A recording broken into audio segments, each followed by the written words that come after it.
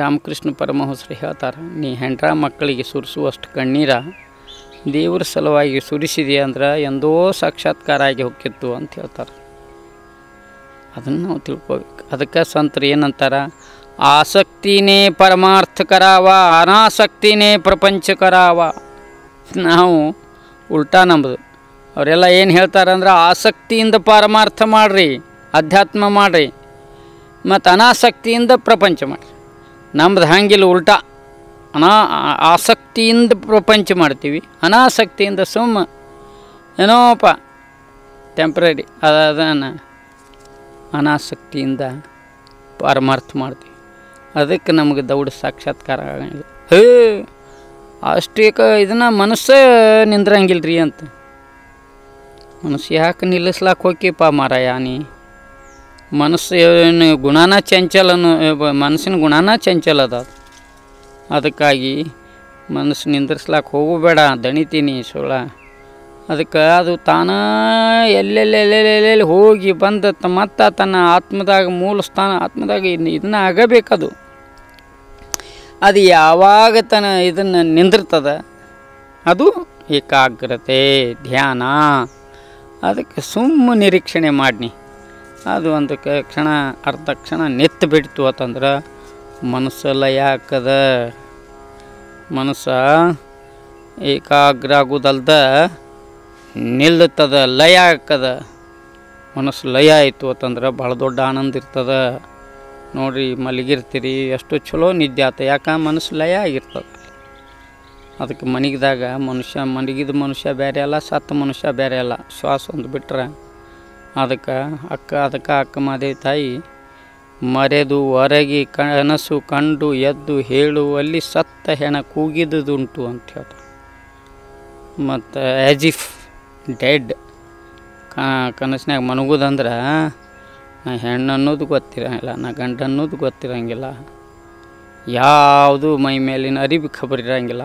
ಮನುಷ್ಯಾಗ ನಿದ್ದೆ ಹತ್ತಿ ಬಿಟ್ಟಿರ್ತ, ನಿದ್ದೆ ಹತ್ತದಂದ್ರೆ ಸತ್ತಂಗ ಮನುಷ್ಯ.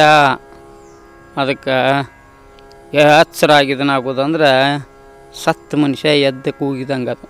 ಎಚ್ಚ ಇದನ್ನು ಎದ್ದ ಕನಸು ಹೇಳೋದಂದ್ರೆ ಅದಕ್ಕೆ ಅಕ್ಕ ಮಹಾದೇವಿ ತಾಯಿಯವರು ಪ್ರಭುದೇವ್ರಿಗೆ ಸತ್ತ ಹೆಣ ಕೂಗಿದುದುಂಟೆ ಅಂತ ಪ್ರಭುದೇವ್ರು ಕೇಳ್ರೆ ಹೌದು ಅಂತ.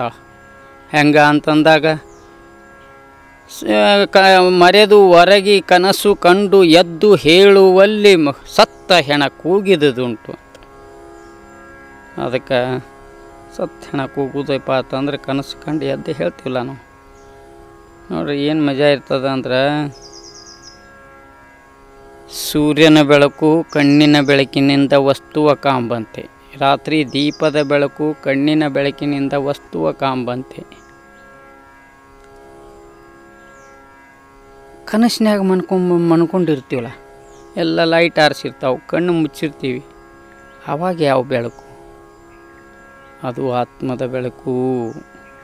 ಆತ್ಮದ ಬೆಳಕಿನಲ್ಲಿ ನಾವು ನೋ ಇದನ್ನು ನೋಡಿರ್ತೀವಿ. ಯಾವಾಗ ಯಾಕೆ ಇದನ್ನು ಅನ್ಕತ್ತಂದರೆ ಮನಸ್ಸು ಲಯ ಆಗಿರ್ತದೆ. ಅದಕ್ಕೆ ಆನಂದವಾಗಿ ಇಲ್ಲಿ ನಿದ್ದೆ ಐತ್ರಿ ಅಂತ. ಅದಕ್ಕಾಗಿ ಮರೆದು ಹೊರಗೆ ಕನಸು ಕಂಡು ಎದ್ದು ಹೇಳುವಲ್ಲಿ ಸತ್ತ ಹೆಣ ಕೂಗಿದುದುಂಟು ಅಂತ ಮಾದೇವಿ ತಾಯಿ ಪ್ರಭುದೇವರಿಗೆ ಉತ್ತ ಉತ್ತರ ಕೊಡ್ತಾರೆ. ಅದಕ್ಕಾಗಿ ನಾವು ಜಾಗ್ರ ಸ್ವಪ್ನ ಸುಸುಪ್ತಿ ಅಂಥೇಳಿ ಇವು ನಾವೆಲ್ಲ ತಿಳ್ಕೋಬೇಕು. ಏನಪ್ಪ ಅಂತಂದ್ರೆ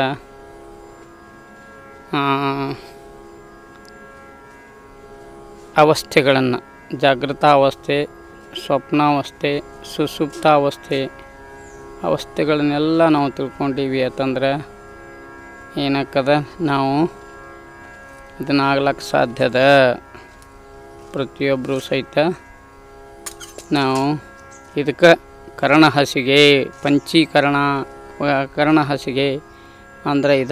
ಅದಕ್ಕೆ ಇವ್ರನ್ನೆಲ್ಲ ನಾವು ತಿಳ್ಕೊಬೇಕು. ಅದ ಸತ್ಸಂಗ, ಅದ ಶಿವಾನುಭವ. ಅದಕ್ಕಾಗಿ ನಾವು ಎಲ್ಲರೂ ಕೂಡಿ ಶಿವಾನುಭವ ಮಾಡ್ಬೇಕು. ಶಿವಾನುಭವದಾಗ ಇವ ಚಿಂತನೆ ನಡೀತಾವೆ. ಸತ್ಯಶುದ್ಧ ಕಾಯಕ ನಿತ್ಯಲಿಂಗಾರ್ಚನೆ ಭಕ್ತಿ ದಾಸೋಹ ಅನುಭವ ಇವೆಲ್ಲವನ್ನು ನಾವು ತಿಳ್ಕೊಳ್ತಾ ಹೋದೀವಿ ಅಂತಂದ್ರೆ ದಿನನಿತ್ಯ ನಮ್ಮ ಕಾಯಕ ಮಾಡಂಗೆ ಮಾಡ್ತಿರ್ಬೇಕು ಎಲ್ಲ ಮುಗ ಮೇಲೆ ಅನುಭವ ಚರ್ಚೆನೂ. ಯಾಕಂದ್ರೆ ಬಸವಣ್ಣವ್ರು ಹೇಳ್ರು, ಪ್ರತಿಯೊಬ್ಬ ಮನುಷ್ಯ ಕಾಯಕನೂ ಮಾಡಬೇಕು, ಪೂಜಾನೂ ಮಾಡ್ಕೋಬೇಕು. ಯಾಕಂದ್ರೆ ಪ್ರತಿಯೊಬ್ಬರೂ ಸಹಿತ ಮೂರು ಘಟಕಗಳನ್ನು man is made up of two comp three components body mind and soul ಮನುಷ್ಯ ಮೂರು ಘಟಕಗಳಿಂದ ಮಾಡಲ್ಪಟ್ಟ ನಮ್ಮ ಶರೀರ, ಮನಸ್ಸು, ಆತ್ಮ. ಇವು ಎಲ್ಲ ವಿಕಾಸ ಆಗಬೇಕಾಗಿತ್ತು ಅಂತಂದ್ರೆ ಅವಕ್ಕೆಲ್ಲಕ್ಕೂ ಫುಡ್ ಕೊಡಬೇಕಲ್ಲ. ಹೊಟ್ಟೆ ಹಸಿದ್ರೆ ಹೆಂಗೆ ಆಹಾರ ಕೊಡ್ತೀವಿ, ಹಂಗೆ ಮನಸ್ಸು ಹಸಿದ್ರೆ ಜ್ಞಾನ ಕೊಡಬೇಕು. ಅದಕ್ಕೆ ನಿನ್ನೊಡವೆ ಎಂಬುದು ಜ್ಞಾನ ರತ್ನ ಅಂತ ಪ್ರಭುದೇವ್ರು. ನಿನ್ನ ಒಡವೆ ಅಥವಾ ನಿನ್ನ ಆಹಾರ ಯಾವುದಪ್ಪ ಅಂದ್ರೆ ಅದು ಜ್ಞಾನ. ಅದಕ್ಕೆ ಮನಸ್ಸು ಯಾವಾಗ ಶ್ರೀಮಂತ ಅಂದ್ರೆ ದಿನನಿತ್ಯ ನಾವು ಜ್ಞಾನವನ್ನು ಅದಕ್ಕೆ ಕೊಟ್ಟಾಗ ಜ್ಞಾನಾತುರಾಣ ನ ನಿದ್ರಾ ನ ಯಾರಿಗೆ ಜ್ಞಾನದ ಹಸಿವಿರ್ತದೆ ಅವಾಗ ನಿದ್ದೆ, ನೀರಡಿಕೆ, ಅವಾಗ ಯಾವ ಖಬರೂ ಇರಂಗಿಲ್ಲ. ನೋಡ್ರಿ ಅವನು ನ್ಯೂಟನ್ನ ಗುರುತ್ವಾಕರ್ಷಣ ಶಕ್ತಿ ಇದನ್ನು ಮಾಡುವ ಹೊತ್ನ್ಯಾಗ ಬಂದ ಟಿಫಿನ್ ತೊಗೊಳಕ್ಕೆ ಬಂದಿರ್ತಾನೆ. ಬಂದ ಹೊತ್ನ್ಯಾಗ ಹಗಲು ರಾತ್ರಿ ಸಂಶೋಧನೆ ಮಾಡ್ತಿರ್ತಾನೆ, ಅಲ್ಲಿ ಬಂದ ತಟ್ಟೆ ಮುಂದೆ ಕೂತಿರ್ತಾನೆ. ಅಲ್ಲಿ ಟಿಫಿನ್ ತಂದ ನೀಡ್ತಾರೆ. ಅನಕ ಅವ ಏನಾಗಿರ್ತದೆ, ಹಿಂಗೆ ಒಂದು ಜಪ್ ಬಂದು ಹೋಗಿಬಿಡ್ತದೆ. ಯಾಕಂದ್ರೆ ಹಗಲು ರಾತ್ರಿ ಇದನ್ನು ನಡೆದಿರ್ತದೆ. ಶ ರಿಸರ್ಚ ಹಿಂಗೆ ಇದನ್ನು ನಾ ಟಿಫಿನ್ ಮಾಡೇ ಬಿಟ್ಟಿನಿ ಅಂತ ಕೈ ತೊಗೊಂಡು ಎದ್ದು ಹೋಗಿಬಿಟ್ಟಿರ್ತಾನೆ ಆ ಟಿಫಿನ್ ಎಡಿ ಮಾಡೋರಿಗೆ ಆಶ್ಚರ್ಯ. ಅಂದ್ರೆ ಹಸಿವಿ ಕಡೆ, ನಿದ್ದಿ ಕಡೆ ಪರಿವಿನ ಇರಂಗಿಲ್ಲ. ಯಾರು ಜ್ಞಾನದಾಗ ಮಗ್ನಾಗಿರ್ತಾರ, ಜ್ಞಾನದ ಆತುರ ಇರ್ತದ, ಜ್ಞಾನದ ಹಂಬಲ ಇರ್ತದ, ಜ್ಞಾನದ ಒಂದು ಹಸಿವಿರ್ತದ ಅದಕ್ಕೆ ಆತ್ಮದ ಹಸಿವಿ, ಜ್ಞಾನದ ಹಸಿವಿ ಇದೆಲ್ಲವನ್ನು ಸಹಿತ ನೋಡ್ರಿ, ಕಾಶ್ಮೀರ ರಾಜ ಸಾಮ್ರಾಜ್ಯವನ್ನು ತೊರೆದು ಇಲ್ಲಿ ಬರಬೇಕಾಗಿತ್ತು ಅಂತಂದ್ರೆ, ಮತ್ತು ಬಡತನದ ದೀಕ್ಷೆಯನ್ನು ಕಮ್ಮ ಕಟ್ಟಿಗೆ ಕಡಿದು ಮಾರಿ ಇಂಥ ಬಂದದ್ರಾಗ ನಾಲ್ಕು ಮಂದಿ ಜಂಗಮರನ್ನು ಉಣ್ಣಿಸಿ ಉಣ್ಣೋದು ಸಾಮಾನ್ಯ ಕೆಲಸ ಅಲ್ಲ. ಸಾಮ್ರಾಜ್ಯವನ್ನು ತೊರೆದು ಬಂದು ಅಂಥ ಸುಪ್ಪತ್ತಿಗೆಯ ರಾಜವೈಭವವನ್ನು ಬಿಟ್ಟು ಬಂದು ಇಲ್ಲಿ ಒಂದು ಸ್ವಾಭಿಮಾನಿಯಾಗಿ, ನಿರಹಂಕಾರಿಯಾಗಿ, ಸ್ವಾವಲಂಬಿಯಾಗಿ ರಾಣಿ ಗಂಗಾದೇವಿ ಜೊತೆಗೆ, ಮಹಾದೇವಿ ಮೂಳಿಗೆ ಮಹಾದೇವಿ ಜೊತೆಗೆ ಈ ರೀತಿ ಒಂದು ಅಭೂತಪೂರ್ವವಾದ ಒಂದು ಜೀವನವನ್ನು ಐತಿಹಾಸಿಕ ಇತಿಹಾಸ ಉಳಿಸುವುದದ್ದು ಸಾಮಾನ್ಯ ಕೆಲಸ ಅಲ್ಲ. ಅವ್ರು ಹೇಳ್ತಾರೆ, ಮೂಳಿಗೆ ಮಾರಯ್ಯನವ್ರು ಎಂಥ ತಮ್ಮ ಅದ್ಭುತವನ್ನು ಎಷ್ಟು ಚಂದ ಬ ಬಿಚ್ಚಿ ಬಿಚ್ಚಿಡ್ತಾರೆ. ಆನೆ ಬಂಡಿ ಭಂಡಾರವೆಷ್ಟಿದ್ದರೇನು? ತಾನೆಂಬುದು ಪಡಿ ಅಕ್ಕಿ. ಒಂದಾವಿನ ಹಾಲು. ಮಲಗುವುದರ್ಧ ಮಂಚ. ಈ ಹುರುಳಿಲ್ಲದ ಸಿರಿಯ ಮೆಚ್ಚಿ ಕೆಡಬೇಡ ಮನುಜ. ಒಡಲು ಭೂಮಿಯ ಸಂಘ. ಒಡವೆ ತಾನೇನಪ್ಪದು ಕೈ ಹಿಡಿದ ಮಡದಿ ಪರರ ಸಂಘ. ಸಾವಿಗೆ ಸಂಗಡ ಆರೂ ಇಲ್ಲ. ನಿಕ್ಕಳಂಕ ಮಲ್ಲಿಕಾರ್ಜುನ. ಅದಕ್ಕೆ ಸಾವಿಗೆ ಸಂಗಟ ಯಾರೂ ಇರಂಗಿಲ್ಲ. ಇದು ಒಂದೇ ಆತ್ಮಜ್ಞಾನ. ಆಧ್ಯಾತ್ಮ, ಇದು ಒಂದೇ ಸಾಧ್ಯದ ನಾಲೆಜ್ ಇದು. ಅದಕ್ಕೆ ನಹಿ ಜ್ಞಾನೇನ ಸದೃಶ್ಯಂ ಅಂತ. ಆಧ್ಯಾತ್ಮ ಜ್ಞಾನ ಏನದ? ಮನುಷ್ಯನಿಗೆ ಅದು ಮಾತ್ರ ಒಂದು. ಅದಕ್ಕೆ ಪುಣ್ಯ ಯಾವಾಗಪ್ಪ ಅಂತಂದ್ರೆ ಮನುಷ್ಯ ಜ್ಞಾನಿ ಆದಂದ್ರೆ आपण काही न करिता सर्वत्र होये चमत्कार ಕಾಜೆ ಪುಣ್ಯ ಮಾರ್ಗೆ ಚಾಲತಿ ಮಣೋನಿಯ ತಾವು ಏನೂ ಮಾಡಲ್ದ ಎಲ್ಲ ಕಡೆ ಚಮತ್ಕಾರ ಆಕಿರ್ತದೆ ಯಾಕಂದ್ರೆ ಜ್ಞಾನ ಅದಾವ ಪಾಪದ ಮಾರ್ಗವನ್ನು ಹಿಡಿಯಂಗಿಲ್ಲ ಪುಣ್ಯದ ಮಾರ್ಗದಾಗ ನಡೀತಿರ್ತಾನ ಅದಕ್ಕೆ ಏನಕ್ಕದಪ್ಪ ಅಂತಂದ್ರೆ ಜ್ಞಾನ ಮನುಷ್ಯನಿಗೆ ಮನುಷ್ಯನನ್ನು ಮನು ಇದನ್ನು ಮಾಡೋದು ಯಾವುದಪ್ಪ ಅಂದ್ರೆ ಟು ನೋ ದ ಸೆಲ್ಫ್ ಆ ಜ್ಞಾನ ಆಯಿತು ಅಂತಂದ್ರೆ ಮನುಷ್ಯನಿಗೆ ದುಃಖ ನಿವೃತ್ತಿಯಾಗಿರ್ತದೆ. ಮತ್ತವ, ಅಂಜಿಕೆ ನಾಚಿಕೆ ಹೇಸಿಕೆ ಎಲ್ಲವನ್ನು ಕಳ್ಕೊಂಡು ದೇವ ಸ್ವರೂಪಿಯಾಗಿ ಅವನ ಜೀವನ ನಡೆದು ಬಿಟ್ಟಿರ್ತದೆ. ಅದಕ್ಕೆ ಶರಣ ಜೀವನ ಅನ್ನೋದು. ಶರಣ ಜೀವನ ಇಂಥ ಅದಕ್ಕೆ ಶರಣರಿಗೆ ಏನಂತಾರೆ ಅಂದ್ರೆ ಅಕಾಯ ಚರಿತರು. ಚಾರಿತ್ರ್ಯ ಪ್ರಿಯ ಚರಿತ್ರೆ ಪ್ರಿಯರಲ್ಲ ಅವರು, ಚಾರಿತ್ರ್ಯ ಪ್ರಿಯರು. ಅದಕ್ಕೆ ಅದಕ್ಕೆ ಅವ್ರು ಹೆಂಗಪ್ಪ ವಿಶೇಷ ಅಂತಂದ್ರೆ ಇಲ್ಲಿ ನಾವು ಗಮನಿಸಬೇಕಾದದ್ದು ಏನಂದ್ರೆ ನಾಮ, ರೂಪ, ಕ್ರಿಯೆ ಇವೆಲ್ಲವೂ ಗೌಣ ಆಗಿರ್ತಾವ್ರಲ್ಲಿ ಅದಕ್ಕೆ ಹೆಸರಿಗಾಗಿ, ಕೀರ್ತಿಗಾಗಿ ಇದಕ್ಕಾಗಿ ಎಂದೂ ಬಡ್ಕೊಳಂಗಿಲ್ಲ ಅವರು. ಅದಕ್ಕೆ ಅವರಿಗೆಲ್ಲ ಗೊತ್ತಿರ್ತದೆ, ಒಂದು ಹುಲ್ಲು ಕಡ್ಡಿ ಅಳಗಾಡಬೇಕಾತು ಅಂತಂದ್ರೆ ಪರಮಾತ್ಮನ ಆಜ್ಞೆ ಇಲ್ದ ಏನೂ ಅಳಿಗಾಡಂಗಿಲ್ಲ. ಅದಕ್ಕೆ ತಮ್ಮ ಈ ಇದನ್ನು ತನಗೆ ತನ್ನ ಹೆಂಡರು ಮಕ್ಕಳಿಗೆ, ಜಗದ ಜನರಾದ ಶಿವನ ಮಕ್ಕಳಿಗೆ ಇವರ ಸಲುವಾಗಿ ಏನು ದುಡಿತೀವಿ. ಈ ಸತ್ಯಶುದ್ಧ ಕಾಯಕ, ನಿತ್ಯಲಿಂಗಾರ್ಚನೆ ಭಕ್ತಿ ದಾಸೋಹ ಅನುಭಾವ, ಪ್ರಸಾದ ಈ ರೀತಿ ತಮ್ಮ ಜೀವನವನ್ನು ಒಂದು ಡಿಸಿಪ್ಲಿನ್, ಒಂದು ಶಿಸ್ತಿನಲ್ಲಿ ಅಳವಡಿಸ್ಕೊಂಡ್ಬಿಟ್ಟು ಮಾನವ ತನ್ನ ಜೀವನದ ಎಲ್ಲ ಮಗ್ಗುಲುಗಳನ್ನು ಬದುಕಿ ಪರಿಪೂರ್ಣ ಜೀವಿಯಾಗಿ ಅವ ಇಹವನ್ನು ತ್ಯಜಿಸಬೇಕು. ಅವಾಗೇನಕ್ಕನ ಬಸವ ಭೂಮಿಯು ಮರಳಿ. ನೋಡ್ರಿ ಶರಣಯ್ಯನವ್ರು ಹೇಳ್ತಾರೆ. ಹೆಂಗಪ್ಪ ಅಂದ್ರೆ ಬಸವ ಭೂಮಿಯು ಮರಳಿ ಬಸವಾದಿ ಪ್ರಮಥರಿಂ ವೈಭವದಿ ಮೆರೆಯಬೇಕು. ಹೆಂಗೆ ವೈಭವ ಇತ್ತು ಬಸವಣ್ಣನ ಕಲ್ಯಾಣ ರಾಜ್ಯ ಅಂತಂದ್ರೆ ನೀಡುವವರುಂಟು, ಬೇಡುವವರಿಲ್ಲ. ಸಾಧು ಸಾದೆಲೆ ಬಸವ ಓದು ಕಲಿಯಿತು, ಲೋಕ ಮೇಧಿನಿಗೆ ಬಂತು, ಶಿವಬೆಳಕ ಅಂತ ಜಾನಪದ ಹಾಡ್ತದೆ. ಏನು ಸಾಧಿಸಿದ್ದ ಪಾಪ ಬಸವಣ್ಣ ಅಂದ್ರೆ ಇಡೀ ಮಾವಕ್ಕೆಲ್ಲ ಲಕ್ಷದ ಮೇಲೆ ತೊಂಬತ್ತಾರು ಸಾವಿರ ಚರಜಂಗಮರಿಗೆ, ಏಳ್ನೂರ ಎಪ್ಪತ್ತು ಅಮರಗಣಗಳಿಗೆ ಅನುಯಾಯಿಗಳಿಗೆ ಅಷ್ಟೇ ಅಲ್ಲ, ಇಡೀ ನಾಡನ ಎಲ್ಲ. ಕಲ್ಯಾಣದಲ್ಲಿ ಬಸವಯ್ಯ ಇರುವಾಗ ಕಲ್ಗೇಕೆ ಕೈಯ ಮುಗಿ, ಮುಗಿಯುವೆ ಅಂತ. ಅದಕ್ಕೆ ಯಾಕಂದರೆ ಕಲ್ಲಾಗ ದೇವರಿಲ್ಲ ಅಂತ ಹೇಳಿದವರ ಮೊಟ್ಟ ಮೊದಲಿಗೆ ಬಸವಣ್ಣವರು. ಕಲ್ಲಾಗ ದೇವರಿಲ್ಲಪ್ಪ, ನಿನ್ನ ಒಳಗೆ ಅದಾನ. ಅದಕ್ಕೆ ನಿನ್ನ ಒಳಗೆ ದೇವ್ರನ್ನ ಕಂಡು ಎಲ್ಲರಲ್ಲಿ ದೇವ್ರನ್ನ ಕಾಣೋದ ಪೂಜಾಪ ಅಂಥೇಳಿ ಇಡೀ ಜಗತ್ತಿಗೆ ಮೊಟ್ಟ ಮೊದಲಿಗೆ ಹೇಳಿದವರು. ಅದಕ್ಕೆ ಪ್ರಭುದೇವರು ಆನು, ನೀನು ಬಸವ ಬಸವ ಬಸವ ಎನ್ನುತ್ತಿದ್ದೆ ಕಾಣ ಗುಹೇಶ್ವರ ಅಂತ. ನಾನೇನೋ ದಲಿತನ ಶೂನ್ಯಪೀಠದ ಅಧ್ಯಕ್ಷನನ್ನಾಗಿ ಮಾಡಿದ. ಅದಕ್ಕೆ ನಾ ಬಸವ ಬಸವ ಬಸವ ಅನ್ಬೇಕು. ನೀನು ಬಸವ ಅನ್ಬೇಕು ಯಾಕಂದ್ರೆ ಕಲ್ಲಾಗ ಮಣ್ಣಾಗ, ಕಟ್ಗ್ಯಾಗ, ಒಳಕಲ್ದಾಗ, ಅಲ್ಲೇ ಇಲ್ಲೇ ಹೊರಸಲ್ದಾಗ ಎಲ್ಲೆಲ್ಲೋ ನಿನ್ನ ನೋಡ್ತಿದ್ರು ಅವ್ರು ದೇವ್ರನ್ನ ಆದ್ರೆ ನೀನು ಹೊರಗೆ ಎಲ್ಲೂ ಇಲ್ಲ ನಿನ್ನ ಒಳಗೆ ಅದಾನಪ್ಪ ಅಂಥೇಳಿ ತನ್ನ ಆತ್ಮದಲ್ಲಿ ಓತಪ್ರೋತವಾಗಿ ತುಂಬಿದ ಆ ಪರಮಾತ್ಮ ಶಕ್ತಿಯಲ್ಲಿ ದೇವರನ್ನು ಕಾಣ್ಲಕ್ಕೆ ಹಚ್ಚಿದವರು ಬಸವಣ್ಣವರು. ಇಂಥ ನಿರಾಕಾರ ಚೈತನ್ಯವೇ ದೇವರಂತ ಜಗತ್ತಿಗೆ ತಿಳಿಸಿಕೊಟ್ಟವರು ಬಸವಣ್ಣವರು.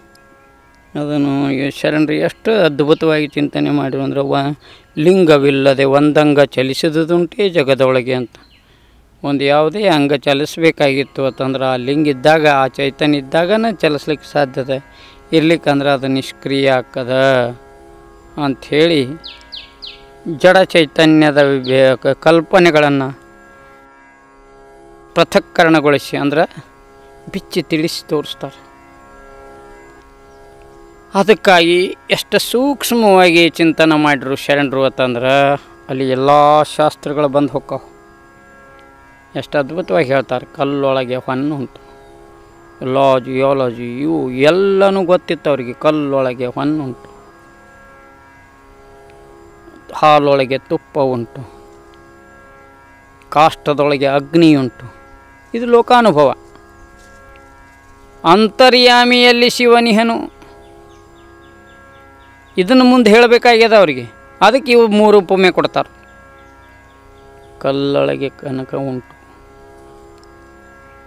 ಹಟ್ಟಿ ಚಿನ್ನದ ಗಣಿ, ಕೋಲಾರ ಚಿನ್ನದ ಗಣಿ, ಎಲ್ಲ ಕಲ್ಲಾಗನ ಬಂಗಾರ ಹೊಂಟ್ತದೆ ಅದರ ಬೇನೆ ಬೇನೆ ಬೇರೆ ಮಾಡಿದಾಗನ ಹಾಲೊಳಗೆ ತುಪ್ಪ ಉಂಟು. ಹಾಲಿನಾಗ ತುಪ್ಪ ಅದ ಕಾಣಂಗಿಲ್ಲ. ಅದನ್ನು ಸ್ವಲ್ಪ ಕಾಶಿ ಹೆಪ್ಪ ಹಚ್ಚಿ ಕಾಸಿ ಉಗುರು ಬೆಚ್ಚಗಿದ್ದಾಗ ಹೆಪ್ಪ ಹಚ್ಚಿ ಸ್ವಲ್ಪ ಹೊತ್ತು ಇಟ್ಟು. ಏನು ಮುಂಜಾನೆ ಹೆಪ್ಪಾದಾಗ ಕೆನಿ ತೆಗೆದು ಕಡ್ದು ಬಿಟ್ಟಿವಿ ಅಂತಂದ್ರೆ ತುಪ್ಪಕ್ಕೆ ಕಂಪಿರ್ತದೆ ಅದಕ್ಕೆ ಹಾಲೊಳಗೆ ತಮ್ಮ ತುಪ್ಪ ಉಂಟು. ಮತ್ತು ಕಾಷ್ಟದೊಳಗೆ ಅಗ್ನಿ ಉಂಟು. ಗಿಡಗಳ ಘರ್ಷಣೆ ಆಯಿತು ಅಂತಂದ್ರೆ ಮು ಬೆಂಕಿ ಕಾಣಿಸ್ಕೊಳ್ತದೆ. ಹಂಗೆ ಕಟ್ಟಿಗೆ ಒಳಗೆ ಅಗ್ನಿ ಐತಿ ಅನ್ನೋದು ಅದು ಘರ್ಷಣೆಯಿಂದ ವ್ಯಕ್ತ ಆಕ್ಕದ ಮೂಲಗಳು ಹಂಗೆ ಅಂತರ್ಯಾಮಿಯಲ್ಲಿ ಶಿವನಿಹನು ನಿನ್ನ ಆತ್ಮದೊಳಗೆ ದೇವ್ರದಾನಪ್ಪ ಪ್ರಾಣದೊಳಗೆ ನಾ ದೇವ್ರದಾನ. ಅದೇನು ಕತ್ತಲೆ ಕಾಣಬಾರದು. ಅಲ್ಲಿ ಹೆಂಗೆ ಪ್ರೊಸೆಸ್ ಒಂದು ವಿಧಾನದವ ಅದರಿಂದ ಅವು ಹೆಂಗೆ ಗೋಚರಕ್ಕವು ಹಾಲಾಗಿನ ತುಪ್ಪಾಗಲಿ. ಮತ್ತು ಎಲ್ಲ ಇನ್ನುಳಿದ ಎಲ್ಲ ಇದೆ. ಹಂಗೆ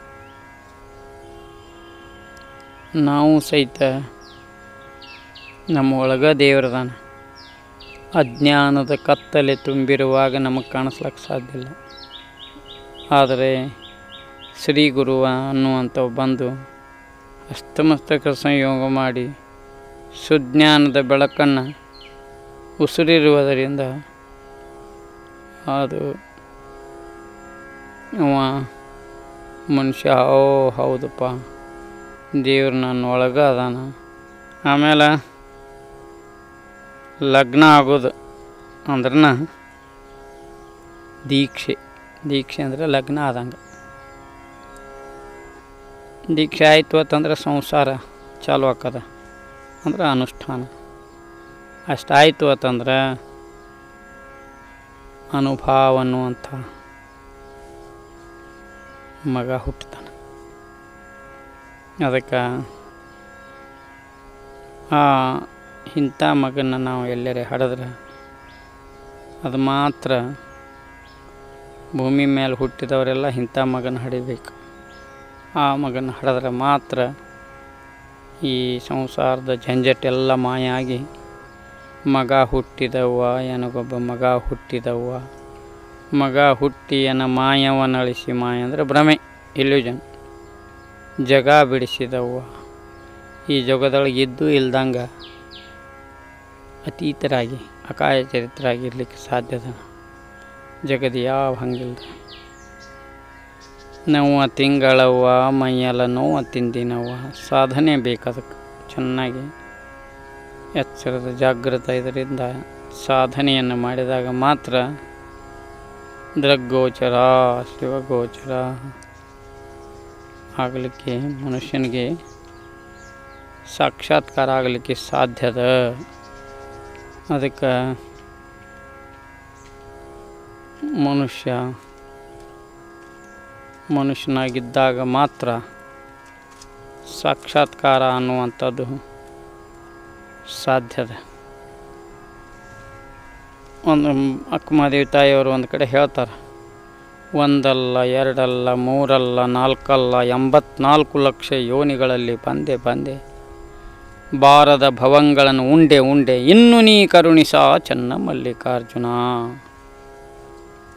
ನೋಡ್ರಿ, ಮಾನವ ಜನ್ಮಕ್ಕೆ ಬಂದ ಮೇಲೆ ಮನುಷ್ಯನಿಗೆ ಅರಿವು ಅನ್ನೋದೊಂದು ಅದ ಅದರಿಂದ ಅವ ಮತ್ತೆ ಹುಟ್ಟಿ ಬರ್ಲಿಕ್ಕೆ ಸಾಧ್ಯ ಇಲ್ಲ. ಯಾಕಂದ್ರೆ ತನ್ನನ್ನು ತಾನು ಅರಿತಾನ? ಆವಾಗ ತನ್ನನ್ನು ಅರಿತಾತಂದ್ರೆ ಹೊಳ್ಳಿ ಹುಟ್ಟುದಂದ್ರೆ ಮತ್ತು ಬೌದ್ಧ ಚಾಲು.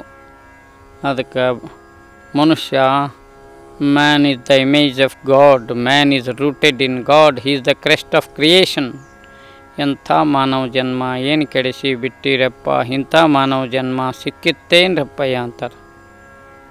ಅದಕ್ಕೆ ಇಂಥ ಶ್ರೇಷ್ಠವಾದಂಥ, ಪರಮಶ್ರೇಷ್ಠವಾದಂಥ ಮಾನವ ಜನ್ಮವನ್ನು ಎಲ್ಲೋ ಹೆಂಡ್ರು ಮಕ್ಕಳು, ಹೊಲ, ಮನೆ, ಅಧಿಕಾರ, ಐಶ್ವರ್ಯ ಅಂಥೇಳಿ ಎಲ್ಲ ಇದ್ರಾಗ ಹಂಗ ವೇಸ್ಟ್ ಮಾಡ್ಕೊಂಡಿವಿ ಅಂತಂದ್ರೆ ದೌಡ್ ಸಾಕ್ಷಾತ್ಕಾರ ಆಗಂಗಿಲ್ಲ. ಅದಕ್ಕೆ ನಮಗೆ ಯಾವಾಗಲೂ ಹಂಬಲು ಬೇಕು ಮತ್ತು ಗುರುಗಳ ದರ್ಶನ ಬೇಕು, ಸತ್ಸಂಗ ಬೇಕು.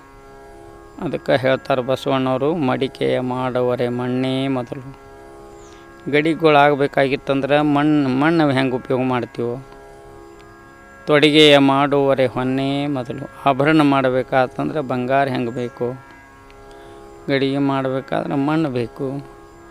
ಕುಂಬಾರ ಮಣ್ಣು ತಂದು ಹದ ಮಾಡಿಕೊಂಡ ಗಡಿಗೆ ಮಾಡಿ ಸುಟ್ಟ ಆಮೇಲೆ ತಯಾರು ಮಾಡ್ತಾನೆ. ಹಂಗೆ ಆಭರಣಗಳನ್ನು ತಯಾರು ಮಾಡಬೇಕಾಗಿತ್ತಂದ್ರೆ ಬಂಗಾರ ಬೇಕು. ಮಡಿಕೆಯ ಮಾಡುವರೆ ಮಣ್ಣೇ ಮೊದಲು, ತೊಡಿಗೆ ಮಾಡುವರೆ ಹೊನ್ನೇ ಮೊದಲು ಶಿವ ಪಥವನರಿವಡೆ ಗುರುಪಥವೇ ಮೊದಲು. ಹಂಗೆ ದೇವರ ಬಗ್ಗೆ ತಿಳ್ಕೊಬೇಕಾಗಿತ್ತು ಅಂತಂದ್ರೆ ಅದ್ರಾಗ ಒಬ್ಬರು ಮಾರ್ಗದರ್ಶಿ ಇರ್ತಾರೆ, ಅವ್ರಿಗೆ ಗುರುಗಳು ಅನ್ನೋದು. ಆ ಅರಿವು, ಆಚಾರ, ಅನುಭವ ಉಳ್ಳವರೇ ಗುರುಗಳು. ಅದಕ್ಕೆ ಗುರುಗಳ ಹತ್ತಿಕ್ಕೆ ಹೋದರೆ ಅವರು ಲಿಂಗ ಏನು? ಲಿಂಗ ಪೂಜಾ ಅಂದರೆ ಏನು? ಹೆಂಗೆ ಲಿಂಗ ಪೂಜಾ ಮಾಡ್ಕೋಬೇಕು? ಅದ್ರಾಗ ಯಾವ್ಯಾವ ಲಿಂಗ, ಹೆಂಗೆ ಹೆಂಗೆ, ಏನೇನು, ಎಲ್ಲವನ್ನ. ಅದಕ್ಕೆ ಶಿವಪಥವನ್ನರಿವಡೆ ಗುರುಪಥ ಇದಕ್ಕೆ ಶಿವಪಥ ಅಂತಾರೆ. ಅದು ಅಂಗಪಥ ಒಂದು ಬೇರೆ. ಅದಕ್ಕೆ ಅವ್ರು ಹೇಳ್ತಾರೆ ಅಂಗ ಸಂಖ್ಯೆ ಆದವಂಗೆ ಲಿಂಗ ಸಂಘವಿಲ್ಲ. ಲಿಂಗ ಸಂಘಿ ಆದವಂಗೆ ಅಂಗ ಸಂಘವಿಲ್ಲ ಅಂಗ ಸಂಘ ಅಂದರೆ ಖಾವು, ಪಿವು, ಮೌ ಉಡಾವು eat drink and be merry one day will die ಅಂತ ಕ್ಲಬ್ ಇದನ್ನು ಇದನ್ನು ಮಾಡೋದು. ಇವೆಲ್ಲ ಅಂಗಸಂಗವು ಎಂಜಾಯ್ ಅಂತ ಏನಂತಿರ್ತಾರಲ್ಲ ಎಂಟರ್ಟೈನ್ಮೆಂಟ್ ಅದಕ್ಕೆಲ್ಲ ಅಂಗಸಂಗ ಇಲ್ಲಿ ಏನಕ್ಕದ ಲಿಂಗ ಸಂಘದಾಗ ಎನ್ಲೈಟನ್ಮೆಂಟ್ ಅಕ್ಕದ ಎಂಟರ್ಟೈನ್ಮೆಂಟ್ ಕ್ಷಣಿಕ ಇರ್ತದೆ. ಎನ್ಲೈಟನ್ಮೆಂಟ್ ಎಟರ್ನಲ್ ಇರ್ತದೆ. ಅದರಿಂದ ಭವದ ಭಂಜನೆ ಆಗ್ತದ, ಆತ್ಮರಂಜನೆ ಆಗ್ತದೆ. ಅದಕ್ಕೆ ಯಾವಾಗಲೂ ಮಹಾತ್ಮರಿಗೆ ಜಾಗೃ, ಗುರು, ಗುರುವಿಗೆ ಏನಂತಾರೆ? ಜಾಗೃತ ಚೇತನ. ಅದಕ್ಕೆ ಒಂದು ಕಡೆ ಹೇಳ್ತಾರೆ ಸರ್ವಜ್ಞ ಕವಿ. ತ್ವತ್ತೇಕೆ ಗುರುಗಳಿಗೆ, ಮುತ್ತೇಕೆ ಮುದುಕಿಗೆ, ಬತ್ತಿದ ಕೆರೆಗೆ ಮಿಗವೇಕೆ, ಸವಣರಿಗೆ ಮಿಥ್ಯತನವೇಕೆ ಸರ್ವಜ್ಞ? ಗುರು ಅಂದ್ರೆ ತನ್ನ ಇಂದ್ರಿಯಗಳನ್ನೆಲ್ಲ ಸಾಧನೆಗೆ ಕೈದುವನ್ನಾಗಿ ಮಾಡಿಕೊಂಡಂಥ ಒಂದು ಸಾಧಕ ಅಥವಾ ಜಾಗೃತ ಚೇತನ ಗುರು. ಅದೇ ಬ ಭಾಳ ಮಂದಿ ಡ್ರೆಸ್ ಹಾಕಿರ್ತಾವೆ, ಆ ಡ್ರೆಸ್ ಗೊತ್ತಿರಂಗಿಲ್ಲ. ಬರೀ ಡ್ರೆಸ್ ಹಾಕಿರೋ ಗುರುಗಳಲ್ಲ, ಅರಿವು ಆಚಾರ ಅನುಭವ, ಅರಿವೇ ಗುರು ಅಂತಾರೆ. ಆ ಅರಿವನ್ನು ಕೊಡೋರು ಯಾರಪ್ಪ ಅಂದ್ರೆ ಗುರುಗಳು. ಅದಕ್ಕೆ ಸರ್ವಜ್ಞ ಕವಿ ಹೇಳ್ತಾ ತ್ವತ್ತೇಕೆ ಗುರುಗಳಿಗೆ, ಮುತ್ತೇಕೆ ಮುದುಕಿಗೆ, ಬತ್ತಿದ ಕೆರೆಗೆ ಮಿಗಬೇಕೆ, ಸವಣರಿಗೆ ಮಿಥ್ಯತನ ಬೇಕೆ ಸರ್ವಜ್ಞ? ಇದನ್ನು ತಿಳ್ಕೋಬೇಕು. ಗುರು ಆದವನಿಗೆ ಸೇವಕ್ಕೆ ಹಾಕಬೇಕತ್ತ ಬುದ್ಧನ ಕೇಳ್ತಾರೆ, ಭಗವಾನ್ ಊಟ ಗೀಟ ಮಾಡಿಸಿ ನಿಮ್ಮ ಸೇವಾಕ್ಕೆ ಒಂದಿಬ್ಬರನ್ನ ಹುಡುಗರನ್ನ ಕೊಡು ನನ್ರಿ ಅಂತ. ಶ್ರದ್ಧೆ, ಸೇವೆ ಅನ್ನುವಂಥ ಇಬ್ಬರು ಸೇವಕರು ಯಾವತ್ತೂ ನನ್ನ ಹತ್ತಿ ನನ್ನ ಜೊತೆಗಿರ್ತಾರಪ್ಪ ಅಂತ. ಅದಕ್ಕೆ ತ್ವತ್ತೇಕೆ ಗುರುಗಳಿಗೆ ಸರ್ವರಿಗೂ ಭಕ್ತಿ ಶರಣಾರ್ಥಿಗಳು.